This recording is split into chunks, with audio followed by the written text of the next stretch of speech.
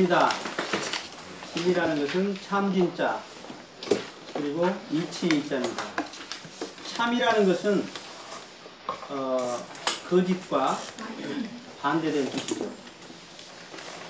그리고 진실하다는 것이고 바르다는 것이고 근본이라는 것이고 그리고 신령스럽다.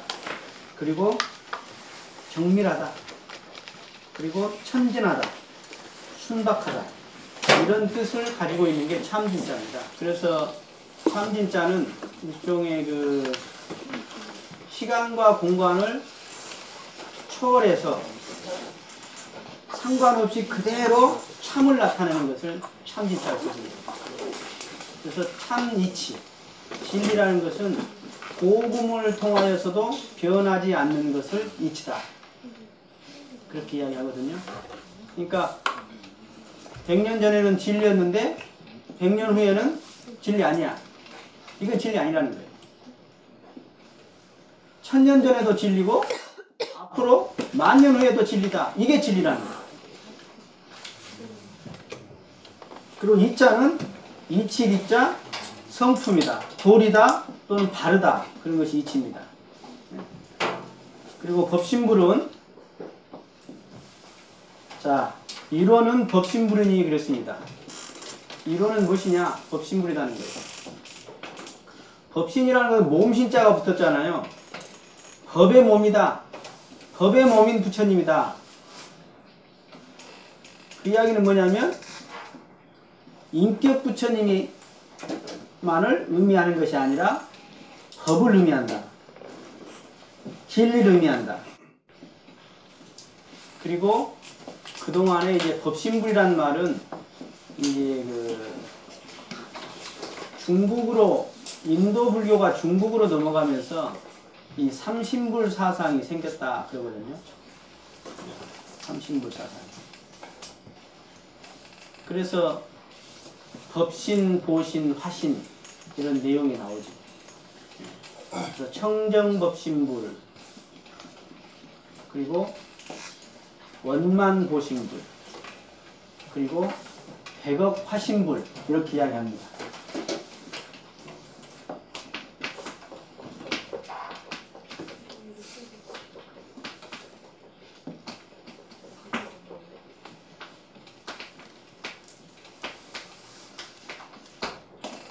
자, 법신불, 보신불, 화신불 앞에다가 청정, 원만, 그 다음 백업 이렇게 써주거든요. 여기서는 지금 어, 이 법신불이다 그런 뜻이죠. 예. 이것을 달리 이야기하면 어,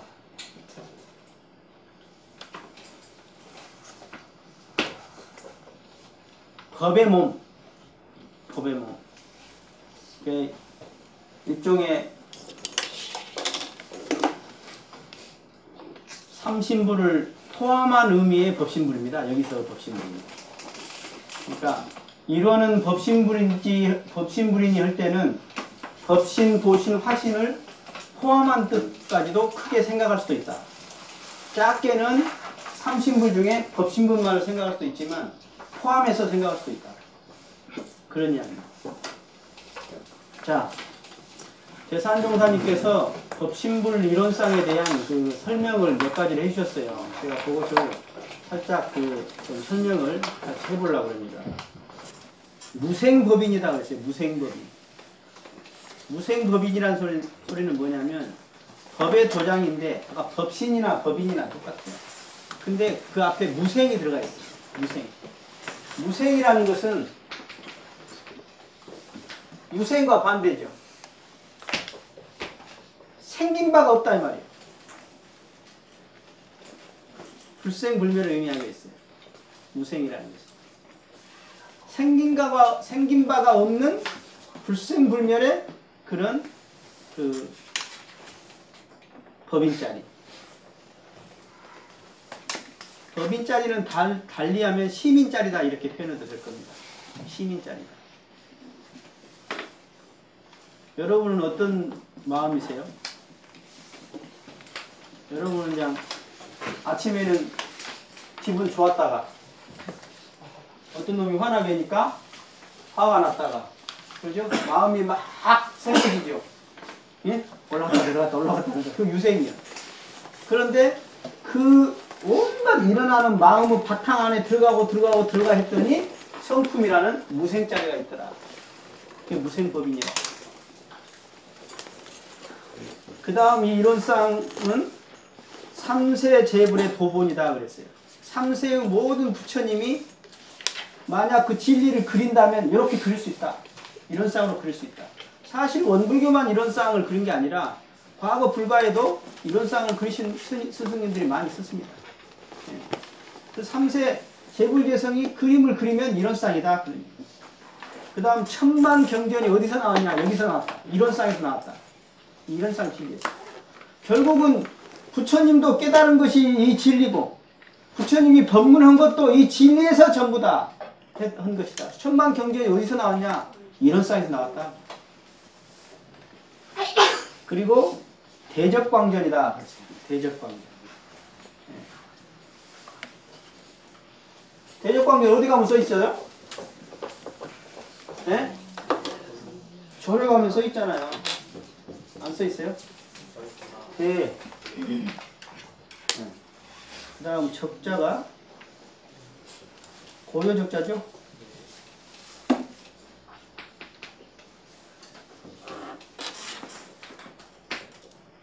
황. 대적광이라는 거죠. 대적광의 전이다. 그 대적광이면 크다는 이야기죠. 크다는 것은 어떻게 보면 이 대자는 크다는 뜻의 대가 아니라 사실은 어 그냥 없다, 전체다 뭐 그런 대자입니다. 큰 것을 넘어서서 전체를 말하는 그런 대자입니다. 그리고 적, 적이라는 것은 어, 뭐냐면 사가 없는 걸 적이다 그렇게 표현하기도 합니다. 고요한 건데 사가 없어. 그 사람은 마음에 사가 없으면 그 고요한 거예요. 그 다음에 광. 이게 적광이죠. 공적 영지 그릇이 적광인데 대적광이다. 광이라는 것은 아까 이 기죠, 기. 유. 있어지는 것을 말해, 빛이. 훤히 아는 거죠. 고요한 가운데 알아. 공적 영지야. 그런데 대적광. 그게 이런 상탈이다. 그런데 이제 열애인은 대적광이고 출가인은 중적광 정도 되고 뭐 항마인은 소적광 정도 된다. 그리고 항마이도 안 된 사람 어쩌냐? 그냥 아까 유생으로 막 살아 그냥. 오늘 또 감정의 노예, 어? 기분의 노예, 돈의 노예, 욕심의 노예, 습관의 노예, 업력의 노예로 그냥 막 사는 거예요. 그러나 불보살들은 항상 이 적광이 딱 적광이 적광의 신법으로 살아간다. 그 이런 상자입니다. 그래서 어, 그 다음에 무진장의 보고다 그랬어요. 즉 이런 쌍은 그 이런 쌍 지금 이 우주만유 전체 여기서 무진장의 보고가 나오는 것이 이런 쌍 진리에서 다른 데 있는 게 아니라 그래서 보물을 쫓지 말고 내 안에 있는 보물을 어? 등- 짊어지고 빌어먹지 말고 네 안에 보물을 캐서 써라. 그게 뭐냐면 내 안에 이런 쌍이 있으니 그 이런 쌍 무진장의 보고가 내한테 있으니 그걸 써라. 그런 이야기죠. 이것을 찾아서 쓸지를 모르고 계속 보물 찾아 삼천리 하고 다니는 거예요. 응? 등에다 쥐고 있는데 딱 꺼내서 쓰면 되는데 쓸 줄을 모르고 빌어먹고 다닌다 이게 거지같이. 그래서 이런 쌍은 무진장의 보고다. 그 다음 복해 원천이다 그랬어요. 복해 원천이다. 복이 또는 지혜가 어디서 나오냐? 이런 쌍에서 나온다. 이 이런 쌍에서. 쉽게 말해서 이 마음에서 나온다. 이렇게. 참 마음에서 나온다. 그 다음에 그쌍 자리를 일년 미생전이라 그런다. 일년 미생전 소식이라고 한다. 그래서 이 일년 미생전이라는 것은 아까 이, 이 광이 있죠, 광이. 이 광이라는 건 훤히 아는 걸 말해. 그 훤히 알아. 그런데 알기만 하는 마음이 아니라 그것이 이 적을 떠나지 않고 화, 화내. 그래서 요것을 한 것이 이제 묵조선이죠.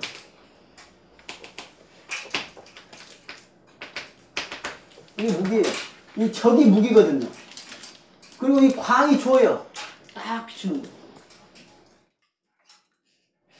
그래서 묵조선이에요. 그래서 한 생각 이전 소식이라고 해요. 그러면서 부모 출생 전 또는 천지 미분 전. 우리는 전부 다 그 밑에 보면 불의의 만법 이러자 그랬죠. 만법과 더불어 전부 뭐하고 사냐? 그 중생들은 짜가고 살아. 음양의 이치로 짜가고 살아요. 남자는 여자를, 흑은 백을, 선과 악, 진급과 강급. 온갖 좋은 놈 나쁜 놈. 좋고 안 좋고. 부자고 가난하고. 전부 짜주 세계, 즉 상대적 세계에 사는데 이 일월상 자리는 그런 걸 포함하고 남아서 더 들어갔더니 짜가지 않는 그것이 있더라. 이 자리는 이 참 마음 자리는 이것이다 할 것이 없어. 예, 이것이 있으면 저것이 있으니까. 이것이라고 할 수 없는 그대로 짜가지 않는 그 마음이더라. 그래서 그것은 한 생각 이전 자리라고. 부모로부터 몸받기 전에도 있었던 그 자리. 천지가 생기기도 전에 그 자리에 본래 그 자리. 오늘 어렵죠? 그리고 아까 삼신물 제가 설명 잠깐 했는데 공원정이라고 이렇게 표현했습니다. 그 다음 이론상을 신불이라고 해요, 신불. 마음부처님이다. 그리고 대소유무다. 이론상이 바로 대소유무예요. 대소유무. 그리고 원만구족 지공무사라고 한다. 원만구족 지공무사. 자, 이 이론상을 신앙과 수행으로 또 이야기를 해보면 즉 이론상의 이, 이 이론상이 이 내적으로 또는 외적으로 생각해 볼 수 있는 거예요. 이론상. 이 외적 위력이 바로 위력을 우리가 신앙하자는 거예요. 외적인 속성을 바로 수행하자는 겁니다. 그래서 위력이 몇 가지가 있냐? 네 가지가 있다는 거예요. 속성이 세 가지가 있다는 거예요. 그 위력의 네 가지가 바로 천지 부모 동포 법률이더라. 천지의 위력, 부모의 위력, 위력, 법률의 위력이 있다. 그 다음에 이 세 가지의 속성은 뭐냐면 공과 원과 정의 속성이 있더라. 그래서 공의 속성을 갖다가 수양을 하고 원의 속성을 연구를 하고 정의 속성을 치사를 합니다. 그래서 사막에 들어갑니다. 이렇게 짜임새 있게 구조적으로 되어 있더라. 그래서 쉽게 거기 해놨죠. 예. 그래서 어, 원불교는 요 두 가지가 항상 맞물려서 이렇게 예, 항상 엮어져 있다. 그래서 진리신앙과 사실수행. 이 진리신앙 저, 저번에 옛날에 내가 그 개교 동기 할 때 말씀드렸는데 진리적 종교인지 종교적 진리인지 참, 옛날에 종교적 진리로 사람 많이 죽였습니다. 중세 때라. 그게 종교적 진리거든요. 그러니까 진리가 바로 이 사은이 진리다 이 말이요. 사은이 이런 사람이더라. 그리고 이 내 안의 마음 가운데 그대로 공과 원과 정의 속성을 그대로 회복해내는 것 그것이 수행이더라. 그래서 이것을 구심력이요 원심력이라고 해요. 여기다 이렇게 추를 달아갖고 뱅뱅뱅뱅 돌리면 이게 구심력이에요. 이게 원심력이에요. 그래서 이것이 자력이고 이것이 탄력이 되는 거예요. 기가 막히게 돼 있어. 원리적으로. 그래서 수행은 법답게, 법있게. 그리고 신앙은 정답게. 그래서 원불교를 처음에 오면 이 신앙과 수행을 이야기하면 처음에 신앙을 오는 거죠, 우리가. 정답게 하는 거예요. 근데 법이 빠져버리면 이제 착심이 되어가지고 사고가 나요. 그래서 그게 법이 딱 들어가야 돼. 즉 수행이 들어가야 돼. 근데 수행에서 끝나면 그 수행이 취사가 사은으로 품어져 나와줘야 해. 그래서 다시 정답계로 가야 돼. 그 정은 초, 처음에 정하고 다르죠. 그래서 진짜 원불교 신앙 수행을 잘한 사람은 그 법을 지키면서도 절도가 있으면서도 그 따스한 정 그것이 신앙을 제대로 한 사람이다. 신앙 수행. 그렇게 말할 수가 있는 거죠. 그리고 여기가 원만구조 지공무사다. 이렇게 말할 수 있어요. 이제 나중에 이거 이론상 법어에 남아서 설명하겠습니다. 그 다음 여기 수행이 공부의 요도, 여기가 인생의 요도. 이렇게 얘기했습니다. 여기는 자기가 자기를 가꾸고 여기는 다른 사람 대타적인 걸 위하고 위하여 불죠? 한잔 하실 때 이게 신앙을 잘하겠다 불공 불공하겠다. 그래서 아니 누가 잘 만들었어. 그러니까 예를 들어서 회사를 어떤 사람이 취직을 했다고 칩시다. 자기가 자력이 있어. 좋은 대학을 나와가지고 회사에 들어갔어요. 자력이 있죠. 잘 들어갔어. 아 근데 들어가서 팀으로 활동을 하는데 안 되는 이게. 너무 독특하고 아까 함께 할 줄을 모르고 양보할 줄도 모르고 배려할 줄도 몰라 그러니까 여기는 이제 양보와 배려가 되겠죠 여기는 자기 실력이야 아무리 자기가 실력 있어도 양보하고 배려하고 함께하고 기다려주고 할 줄을 모르면 그 사람 성공하기 어려운 거예요 그러니까 신앙, 원불교의 신앙과 수행이 따로 있는 게 아니라 이 신앙과 수행은 우리 삶에 밀접하게 연관되어 있는 거예요. 그대로. 우리가 숨 쉬고 사는 이게 신앙과 수행이에요. 그대로. 따로 있는 게 아니라고. 이게. 그리고 여기가 이제 도덕이다. 그렇게 표현한 거예요. 이 도를 실천할 때 이 덕으로, 시사가 그대로 덕으로 이어지거든요. 도덕이. 그래서. 그리고 여기는 아까 속성이 주로 대체로 하면 공이에요. 여기는 공이에요, 공. 달라요. 이 공은 전자죠. 그래서 공과 공. 그래서 대공심, 대공심. 이렇게 이야기하는 거예요.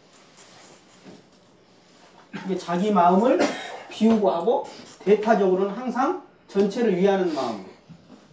이 사람이 가장 신앙 수행을 잘하는 사람이고 달리 표현하면 이론상 진리를 생활 속에 쓰고 있는 사람이다. 이렇게 말할 수 있는 거예요. 그리고 그 결과는 이걸 잘한 사람은 정말 지혜가 있는 거죠. 아까 자력이 있는 거예요. 확실하게. 삼대력이 있는 거예요. 그리고 이것이 이렇게 연결이 돼서 진짜로 우리가 모두가 원하는 행복. 많은 사람이 물어보면 행복을 위해서 산다고 그래. 근데 어떤 게 행복인지, 어떻게 살아야 행복인지, 무엇이 영원한 행복인지에 대해서는 아는 사람 많지 않더라. 근데 딱 원불교 믿는 사람 말할 수 있는 거예요. 무엇이 행복이냐? 바로 이 수행을 통해서 지혜를 갖춰가지고 정신의 수양력을 갖추고 사리의 밝은 연구력을 갖추고 그리고 내가 경계를 대해서 선은 취하고 악은 놓을 수 있는 마음의 힘을 갖춰서 내가 주의 대타적으로 계속 만나는 대상에게 보은할 것 같으면 그 보은이 불공이니까 내가 은혜를 위하는 마음으로 계속 덕을 베풀 것 같으면 그것이 바로 가장 행복이다. 왜? 그러면 인과이치 따라서 그거 내가 줘야 받는 거죠. 받기 싫어도 받아. 죄를 응? 안 좋은 걸 주면 죄를 받고 좋은 걸 주면 좋은 걸 받아. 받기 싫어도 그대로 인과이치 적용받게 돼 있어요. 그러니까 사람들이 행복이란 무엇인가라는 책을 열심히 봐요. 근데 원불교 신앙 수행이 그대로 행복을 이해한 거예요. 최종 기원은 행복이야. 복락이야, 복락. 낙을 위한 거예요. 행복을 위한 거고. 왜 원불교 다니냐? 행복을 위해서. 맞 정답이에요. 어떻게? 원불교 신앙과 수행을 하면 그대로 가장 행복하게 그것도 영원한 행복자로 살 수 있다. 이것이 원불교 신앙 수행이다. 보세요. 행복하게 살라는데 아까 이 자력이 없다고 지혜가 없어요. 행복이 도망가 버리잖아요. 또 설사 좀 자력이 있어도 독불장군이야. 베풀 줄을 몰라. 행복 안 하잖아요. 나중에 외로워. 혼자 똑똑한 것 같은데 외로워. 사업을 해라도 도와준 사람이 없고. 그대로 이것이 신앙 수행이더라. 자, 뭐 불상과 이론상 숭배의 관계에 대해서 도입편 10장을 요약하면 이렇습니다. 아, 사은 지금 내가 복을 받고 지혜를 받고 하는 것은 내가 마음을 상대한테 어떻게 쓰냐 만나는 대상이 어떻게 쓰냐 즉 만나는 대상 대상 사은님이 복을 주고 지혜를 받는다 제, 제, 복과 지혜를 주고받는다 이것이 바로 이런상 숭배예요. 이런상 신앙이에요. 그런데 불상 숭배는 뭐냐? 형체를 신앙하는 거다 형체. 형체. 그런데 형체가 없이 그냥 한 사람은 어떻게 할까요? 물었어요 어떤 사람이. 그러면 또 불상 모시고도 해라. 툭 대중교화로 열어놓으신 거죠. 그 다음에 서가모니 부처님과의 관계에 대해서 해주셨습니다. 서가모니 부처님도 사실은 이런상 진리를 깨친 거고 결국 이런상 진리를 설법하신 것이 서가모니 부처님이시다. 그래서 서가모니 부처님은 법신의 진리를 숭배하는 즉 신앙과 서가모니 부처님의 색신열애를 그런 숭배하는 신앙 요 두 가지가 사실은 둘이 아닌데 원불교는 이 법신을 주로 모셔놓은 거고 또이 불교는 색신을 현재 모셔져 있는 그런 상황이다 이렇게 말씀드릴 수 있겠죠. 자 불상숭배는 부처님을 모시고 추모 존숭하는 거예요.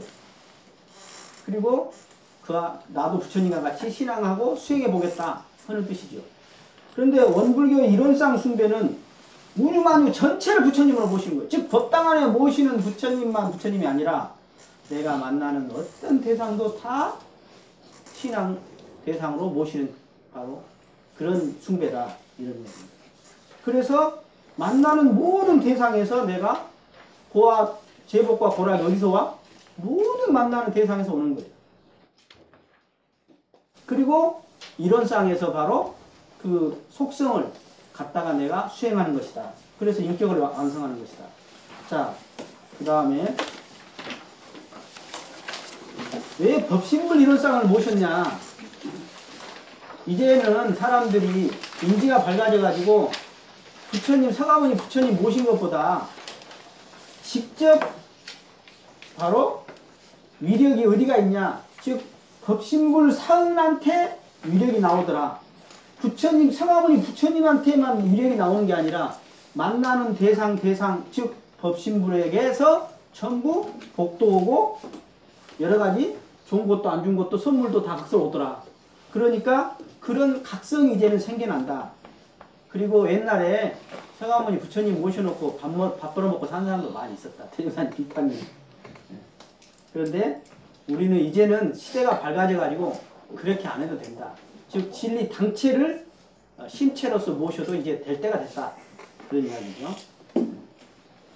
자, 법신부를 모실 때는 우리가 이렇습니다. 어, 법신부는 그냥 막 모시는 게 아니에요. 도구에 맞게 모셔야 합니다. 그리고 법신불이 모시는 법당은 법당이라고 안 해요 원래. 뭐라고 하죠? 대각전이라고 해요. 그래서 우리 2층도 올라가면 대각전 이렇게 써있죠. 네. 법당이지만 분명히 대각전이라고 하셔야 돼요. 대각전이란 말은 뭔 말이죠? 크게 깨치는 그런 전당이다 그 소리예요. 크게 깨치는 데다. 그리고 집에다 모시는 그 이런상은 불단, 불단이라고 합니다. 그리고 집에다 모실 때나 대각전에 모실 때도 가장 신성하고 가장 조용하고 가운데다가 그리고 이제 여러분들 중에 집 짓는 분 계시죠 혹시 그러면 일본은 그렇게 많이 하는데 불단을 계획에 설계에 넣어라 그 말입니다. 불단을 설계할 때 집어넣어서 깔끔하게 작게 이렇게 하면 좋겠다. 그리고 항상 실내의 중앙에 위치하도록 해야 한다. 구석대기다 저기다 하는 게 아니라 중앙에다 이렇게 모셔라. 그리고 이론상을 그러면 우리가 왜 모시냐? 다 이론상이라는데 이론상을 그 하나의 신앙의 대상으로과 수행의 표준으로서 표본으로서 그걸 볼 것 같으면 마음이 더 챙겨진다는 거죠. 그리고 더 나아가서 이론상을 통해서 이제 해야 할 것이 있어. 이론상을 처음에 딱 볼 때는 세 가지로 쓰라고 했어요. 이론상을 쓸 때는. 어떻게 쓰냐? 첫째, 이론상을 딱 보면 신앙의 대상 수행의 표본인데 먼저 견성성부라는 화두로 삼으라고 했어요. 대할 때마다. 도대체 이 이론상이 무엇이냐? 이 이론상이 무엇이냐? 이론상이 무엇이냐는 뭐죠? 나는 무엇이냐 그 소리예요. 참 나는 무엇이냐 그 소리예요. 이 뭐냐 이 먹고 이 먹고 이런 쌍을 볼 때 그렇게 삼아라. 그 다음 두 번째는 이런 쌍을 볼 때 이런 쌍은 어떤 마음이요? 원만부족 지공무사한 마음이죠. 공원정의 마음이요. 그 마음으로서 내가 수행해 나가는 표본을 삼아야 한다. 쉽게 말해서 내 마음이 빈 마음인지 밝은 마음인지 따스한 그런 훈훈한 마음인지 이것을 대조하는 대상으로서 이런 쌍을 활용해라. 거예요. 그리고 신앙의 대상으로서 또 활용해라. 이런 쌍들. 이것을 제대로 알면 그냥 뭐 그냥 뭐 이런 쌍이 아니라 부모의 사진같이 순기할 것이다. 그러면 이런 쌍 없는 데서는 어떻게 할까요? 질문하니까 정삼회사님께서 다 이런 쌍이다. 사방 팔방이 유상무상이 다 이런 쌍이로 감흥은 다 할 것이다. 그렇게 하셨습니다. 자, 공부를 한다. 이런 쌍을 모신다는 것은 첫째, 시불이라고 해서 시불. 시불이라는 건 모신다는 거죠. 모셔. 여러분들이 집에다가 이런 쌍을 모셨다는 것은 가장 어른을 모셨다. 이렇게 생각하면 돼요. 지금 가장들 계시죠? 가장이 제일 어른 아니요. 이런 쌍이 제일 어른이에요. 이런 쌍이. 어른이셔야 어른이. 어른을 안 모시니까 그냥 갈수록 영혼이 매지죠. 탁해지고. 어른을 모셔야 어른. 그리고 어른을 모신다는 것은 바로 그 모셔서 내가 생불이 되자는 것이다. 생불이 돼서 뭐 하자는 거냐? 실제로 활불로서 써먹자는 것이다. 활동하는 수처. 그래서 이런 쌍을 모시는 건 단순히 신앙의 대상으로서만 아니라 그 내가 수행의 신앙의 대상으로서 시부를 하지만 동시에 수행의 표본으로서 내가 생물이 되고 활불이 되자 그런 의미. 그래서 우리가 공부를 하는 거예요. 그러면 그 이론상 자리를 제대로 그 아는 거랄까요? 보는 거랄까요? 변성하자는 것은 무엇이냐? 거기에 나와 있죠. 진여에 개합하는 것이다. 이론상을 진여라고 합니다. 그리고 열애에 응연하는 것이다. 그리고 이론의 합이라는 것이다. 그리고 법심자리에 반환되는 거다. 즉 자기의 참 본래 면목을 만나는 거예요. 그리고 무국자리, 이런 쌍자리에 복귀하는 것이다. 그리고 진리에 맞게 살아가자는 것이다. 그리고 생사를 초월해서 살자는 것이다. 이런 쌍 진리를 알 것 같으면 생사를 초월해 살 수 있다. 그리고 인과를 해결할 수가 있다. 인과를 해결할 수 있다. 그래서 시방 일갈 사생 동체로서 전부가 내가 내 집으로서 살아갈 수 있다. 즉 이런 쌍이 그냥 나와 별개의 관계가 아니라 내 마음이 이런 쌍이요. 또 이 이런 쌍이 우주만의 전체가 이런 쌍이다 하는 것을 알게 된다 하는 것입니다. 자 이제 본문으로 가겠습니다. 이론은 우주만유의 본원이요.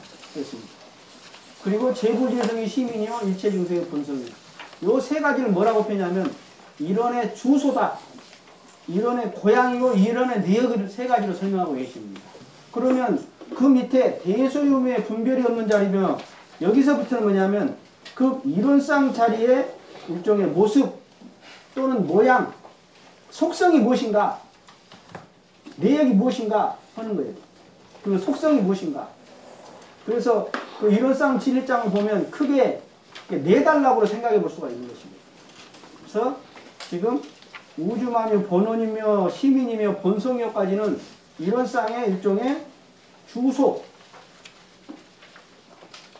요것이 나오고 그 다음에 세 개가 남았죠. 그 세 개가 뭐냐면 이제 쌍의 속성의 측면입니다. 쌍의 속성의 측면 또는 이런 쌍의 그 모습의 측면이에요. 대소유며 분별이 없는 모습이고 선하고가 뭐 응? 또는 뭐 언어 명상이 없고 있고 이것이 다시 조화롭게 세 가지로 설명이 되어 있습니다. 여기에서 원불교의 일종의 사막이 다 나오게 되는 것입니다. 그래서 오늘은 이제 에, 이론상의 이 주소요, 고양요, 내역인 부분입니다. 자, 먼저 본원과 시민과 본성은 하나다. 무촌이다. 이거예요. 무촌이다. 그런데 좀 자세히 들어가 보니까 우주만의 본원은 신앙의 대상으로서 주로 많이 우리가 활용된다. 쉽게 말해서 어떤 것으로 구분이 되냐면요. 심성적인 측면에서는 시민과 본성으로 해놓은 거고 우주적 측면으로서는 본원으로 해놓은 거예요. 같은 것을. 그래서 우주만이 본원이다. 그러면 우주 그랬습니다. 우. 우는 공간을 말하고 주는 시간을 말합니다. 그리고 만유. 이 만유는 만을 만자예요. 일만 만자라고 하기보다는 만을 만자 이렇게 해석을 하셔야 합니다. 우주에 많이 있는 그 소리예요. 많이 있는 가득 차 있는 온갖 사물들을 말하죠. 그래서 여기서 이제 알 수 있는 것이 대종사님이 너무너무 이 일월상 진리를 이미 답을 줘버렸는데 그게 뭐냐면 이 일월상은 법신물인데 이, 이, 이것이 이론이라는 거예요.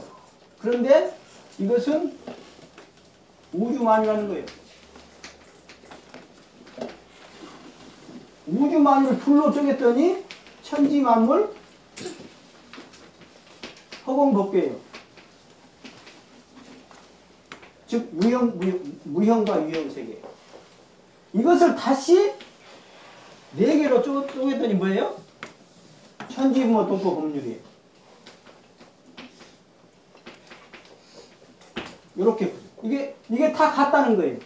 이론은 법신불이고 법신이 일월상이고 이론은 바로 우주만이에요. 그리고 천지만물 혹은. 천지부모 동포 법률. 그, 그 소리는 뭔 소리예요? 전체가 다 이론이다 그 말이에요. 전체가 유형 무형 전체가 이론 아님이 없다. 즉 진리 아님이 없다. 그 소리입니다. 그동안에 생각해 보세요. 진리는 뭔 생각하세요? 보이지 않는 저 어디 뭐, 뭐, 어? 그게 아니라, 나도 진리, 여러분도 진리, 다 진리다, 그 소리. 그런데, 그러면 진리면 잘 살아야 할 거 아니요? 아니요. 인과의 진리가 또 그 안에 들어가. 그래가지고, 지은 대로 받게 돼요. 위력이 다 있어, 위력이. 다 위력이 있네. 보니까. 다 위력이 있어. 나는 힘이 하나도 없는 사람 있어요? 화나 봐요. 힘이 진짜 좋아진다. 강력한 힘을 발휘해요. 화가 나보세요. 아무리 못난 사람도 암만 똥개도 화가 나보세요. 아주 위력을 발휘합니다.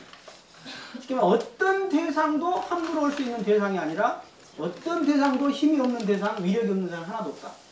이게 진리다, 이게 진리다. 여기서 복이 나오고, 여기서 재상이 나오고, 여기서 신앙이 대상이고, 여기다가 불공하고, 여기다 복원하자는 것이에요. 그래서 본원이요 그랬잖아요. 근본본 근원원 그랬습니다. 본원은 근원이요 시초 시작이다 이런 소리도 돼요. 그리고 고향이다 이렇게도 됩니다. 고향이다. 그러니까 우주만유의 본원이요 그러면 이렇게 생각하거든요. 우주만유 따로 있고 본원 따로 있고 그게 아니라 우주만유가 본원이에요. 근원 즉 실체예요. 근원 즉 실체. 그러니까 본원이라고 하면 우주만유를 그냥 묶어버렸달까요? 우주만유를 그냥 압축해서 표현하면 본원이라고 하는 거지. 우주만유 따로 있고 본원 따로 있는 게 아니에요. 중요한 이야기인데. 근원이면 실제다 그래요. 본원. 그래서 이 우주만유의 본원을 알것 같으면 나와의 관계를 이제 생각해 볼 수 있는 거예요. 내가 나도 우주만유의 본원이고 만나는 모든 천지만물 허공법계가 다 우주만이다. 즉 이론상이다. 그럼 어떻게 되겠어요? 전부 다 나도 저 사람도 전부 위력이 있다. 신앙이 대상이다. 그런 이야기. 원불교 신앙 그거 이해가 되세요? 근데 제가 묻고 싶어요. 만나는 대상한테 어떤 사람한테 잘 되세요? 예? 나한테 잘해주는 사람 신앙 되죠? 돈 좀 많은 사람 신앙 되죠? 사장님 신앙 되죠? 교수님 신앙 됩니까? 요즘 교수 도숙하나? 그 학점 줄 때는 겁나 신앙 대상이 되죠? 네? 시험 낼 때는. 네.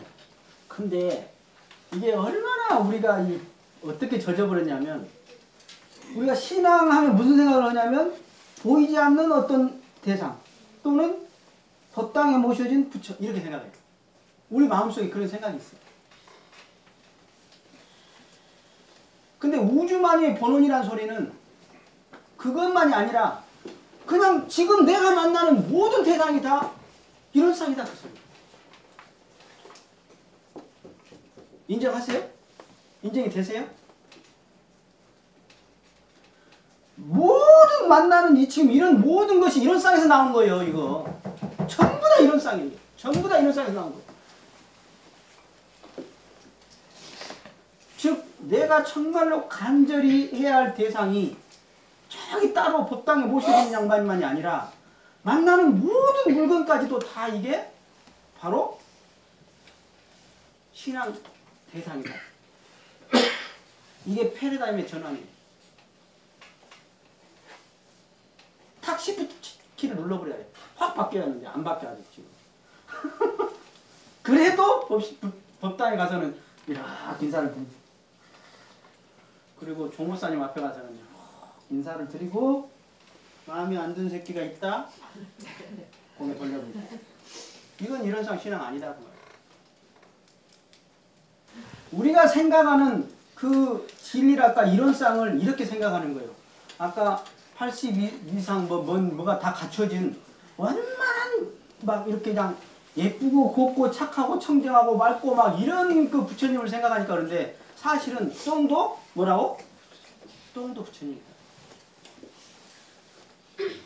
화음이라는 것은 뭔 이야기냐면요. 예쁘게 꽃이 피었을 때만, 응?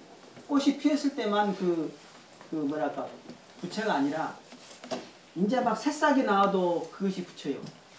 그리고 꽃이 지금, 목련꽃 지금 막, 막 져버리고 있거든요, 지금. 그렇게 예뻤다가. 그 져버려가지고 안 이쁘고 그 추한 그것도 바로 화음이라는 거예요. 그게 부채라는 거예요. 우리가 생각할 때는 예쁘게 꽃향기를 품고 있는 요것만이 부처가 아니라 진짜 말 안 듣는 자식 진짜 마음에 안 드는 시어머니 부처님이다 그 소리요.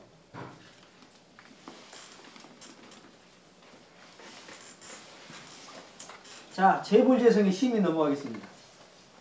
재불재성의 시민 예, 재불과 시민, 재성 모든 부처님과 모든 성자들 의 시민 마음짜리다 그래요. 마음짜리. 예.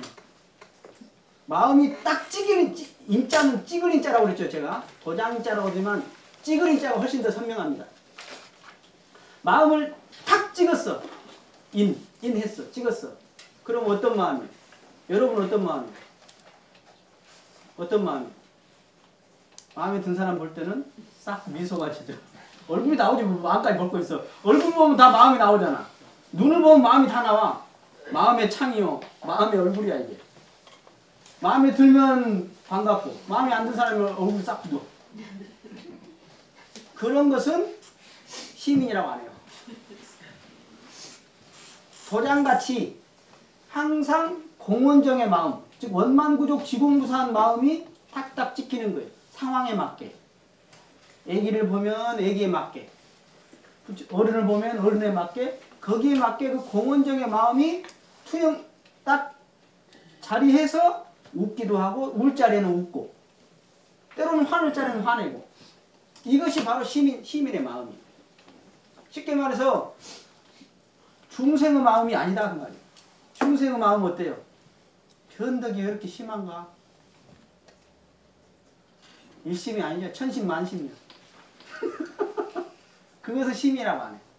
근데 재불재성의 마음은 바로 깨달은 그 마음으로서 공원정의 마음이 들어있다. 텅 비어서 밝으면서도 조화로운 마음이 들어있더라. 그 심이 짜리더라. 그래서 제가 거기다 적었어요. 뭘 적었냐. 그래서 종교 간에 만날 수 있다는 거예요. 어떤 성자도 그 마음이요. 그러니까 재불재성의 심의는 벌써 뭐예요? 이 재불재성 안에는 공자님도 들어가 버렸고 예수님도 들어가 버렸고 서가모니 부처님도 들어가 버렸고 다 들어가 버렸죠 재불재성 안에.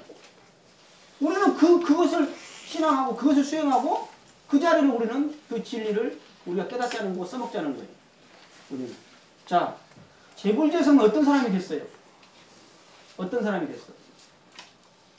바로 서원을 가지고 신심으로 신분성을 들이대서 깨달음을 얻은 분들 또는 신의 계시를 받는 분들, 받은 분들이 그분들은 바로 우리가 참 그런 재불재성을 신앙도 하고 또는 그분들의 신법을 내가 믿기도 하고 그분들에게 내가 불공도 하고 나도 그런 사람같이 마음을 쓰자 하는 것이 이 안에 다 포함되어 있어요.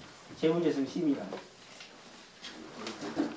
그 보세요. 지금은 이제 시대가 밝아졌지만 옛날에는 성자의 마음을 중생들이 몰라. 공자님도 그렇게 노나라를 떠나고 돌아다녔는데 아무도 공자님 못, 알아, 못 알아봐요. 몰라봐. 그러니까 이, 이걸 알아보는 사람이 없었어. 이제는 알아본다, 이 말이야. 이제는 알아보다. 세상에. 알아볼 때가 됐다. 제가 여기다 소개한 것이 부처님이 되려면 세 가지 공부가 있다. 그분 소개했어요. 법, 내 마음이 법신부가 합일가 되느냐. 그리고 천지 만물을 아까 중생으로 보고 못난 사람 보고 똥, 똥으로만 바라보느냐. 아니면 그것을 부처님으로 바라보느냐. 네. 신앙이겠죠. 그리고 어, 연구겠죠. 그 다음에 섬기는 공부. 천지 만물을 진짜 부처님으로 섬기느냐. 이것만 잘해도 부처를 이룬다 그랬어요. 자, 일체 중생의 본성이며 여기 이, 이걸 보면 굉장히 희망을 느껴져요. 보통 사람들. 왜냐하면 아까 우주만 보면 그럼 얼른 보면 막연할 것 같고 재물재성이 심은 거면 내가 성이 아직 아닐 것 같고 그러잖아요. 근데 일체 중생의 본성이라면 내 본성이 그렇다고 말이에요. 내 본성이다. 멀리 안 가고. 내 본성. 내 본래 성품이 그렇다. 이게 참 대단한 희망적인 이야기예요. 무슨 이야기냐면 이게 이제 조금 불교의 매력인데요. 이 본성이라는 거예요. 본성. 본래 성품. 이걸 불성이라고 하거든요. 부처의 성품. 이게 본래는 부처의 성품을 갖고 있다는 거예요. 쉽게 말해서 그 지금 감옥에 계신 분 있잖아요. 높은 자리에 계시다. 감옥에 계시고 이런 분들도 다 부처님이다 그 소리. 무엇은 본래는 본래는 부처님이다. 그래서 사형 제도를 두면 안 되는 거예요. 왜? 본래 부처님이고 욕심과 업력에 또는 무지에 의해서 또는 이것이 내가 죄를 지었다 하더라도 이게 아까 대소유무 유무자리가 있잖아요. 변화할 수 있단 말이에요. 역사적으로 보면 그렇게 많은 사람을 죽인 악인이 완전히 개과천선해갖고 성자가 된 사람도 있어요. 그런데 만약 그 사람 탁 사형으로 죽여버렸다. 그럼 어떻게 되겠어요? 그러면 감옥에 넣지 말자. 그 소리는 아니에요. 감옥에 넣되 그 사람이 변화할 수 있는 여러 가지를 줄 필요가 있다. 그래서 원불교 되는 사람이 저런 나쁜 놈이 있나 저놈 죽여야 한다. 이것은 원불교 교법을 모르는 사람이에요. 어떤 악인이라도 마음을 바꾸면 바꿔줄 수 있는 게 유무자예요. 유무자예요. 왜? 본래 부처님이기 때문에. 본성을 가지고 있기 때문에 그렇다. 본성을 가지고 있기 때문에. 그래서 본자 부족이다. 본래 면목이다. 본래 청정이다. 본래 고향이다. 그래서 오욕에 욕심에 내가 도둑 맞아버린 것이지 본래 본래 지금 내가 그런 게 아니에요. 본래 그런 게 아니에요. 그래서 우리가 원불교에서 신앙 신앙 그래서 신분성의 신의 첫째가 바로 이거예요. 우유만유 본원으로 믿으며 그리고 일체 중생의 본성으로 믿는 거예요. 가장 가까이. 즉 내가 바로 부처님이다. 내가 하면 된다. 나도 깨달을 수 있다. 하기만 하면 된다. 반드시. 쉽게 말해 나는 중생인데 수행해갖고 부처를 만들어가자 이게 아니라 내가 본래 부처인데 내가 욕심에 가렸으니 이걸 떼내면 바로 그 자리가 보인다. 그게 그것을 먼저 믿는 자는 게 첫째다. 쉽게 말해서 내가 아무리 잘못했어도 내가 아무리 실수했어도 또 저 사람이 아무리 못난 짓거리 했어도 어쩌다는 거예요? 믿어주잖아. 얼마든지 바꿀 수 있다. 그리고 본래는 중생이 아니라 부처였다. 이거 대단히 중요한 이야기예요. 제, 이 대소유의 분별이 없는 자리면 이제 여기가 이론상의 이제 에, 하나의 모습이다. 또는 이론상의 그런 그 안에 그 속성이랄까요? 모양을 설명하고 있는데 그 첫째 먼저 대소유의 분별이 없는 자리며 그랬습니다. 이 말을 그 여러분들도 혹시 뭐 사전이라 이렇게 봐- 찾아보면 잘못 원- 원불교가 거의 잘못됐어요. 지금 원불교 사전들이 거의 다. 이거 여기서 대소유무는 대종사님이 표현한 성 그 사리 이치에는 사는 12이고 리는 대소유무다 있는 부분이 있죠. 이것으로 설명을 많이 해놨어요. 이거 아닙니다. 여기서 대소유무는 이치의 대소유무는 전혀 상관이 없는 이야기예요. 전혀 상관이 없는 거예요. 그래서 쉽게 말해서 이거예요. 지금 저를 보세요. 자, 지금 제가 보이죠? 저를 보죠? 무엇이 봐요? 눈을 통해서 본, 보- 본다는 것은 분별한다는 것이고 보고 안다는 것이에요. 인식한다는 거예요. 그죠? 근데 무엇이 보고 그러죠? 무엇이 보고 인식하십니까? 분별하십니까?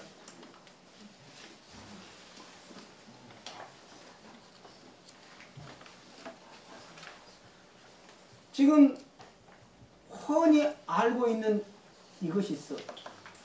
이것이 무엇이 들어서 그러냐? 무엇이 들어서 아느냐, 인식하느냐, 분별하느냐. 그랬더니 테두리를 먼저 설명했어요. 테두리. 크냐 작냐의 크기 테두리를 먼저 설명했어요. 크다고 할 수 있느냐? 그럼 얼마나 크지? 작으면 얼마나 작지? 그래서 대포무의 세인문해라 그래요. 대포무의 하도 커갖고 밖이 없어. 세인문해 가는 세자에 작아갖고 아니라고 하는 것이 없어요. 그래서 대와 소라고 말할 수 있는 거예요. 크다고 할 수도 없고 작다고 할 수도 없는 거예요. 그 다음에 유무예요. 유무는 뭐냐? 지금 제 목소리를 듣고 아는 것이 있지요. 있어요, 없어요? 있잖아요. 있으니까 듣고 알죠. 그럼 어디가 있나요? 실체가 있나요? 뭐가 있느냐? 요걸 한번 연마해 갖고 다음 시간에 같이 또 이야기 해보겠습니다. 한번 찾아보실래요? 네? 마지막 요 숙제까지 내고 같이 끝내겠습니다. 여러분 꿈꾸도, 꿈꾸면서 자나요? 꿈 안 꿀 때도 있죠? 자, 꿈도 없이 잠잘 때 지금은 이렇게 아는 것이 있죠? 그죠? 제 목소리를 듣고 아는 것이 있어요? 자, 꿈을 꿀 때는 그 꿈을 꿀 때는 아는 것이 또 있어요. 근데 꿈도 없을 때는 있어요. 자, 꿈도 없을 때는 지금 이 아는 이것이 어디 있을까요? 한번 일주일간 찾아봅시다. 감사합니다.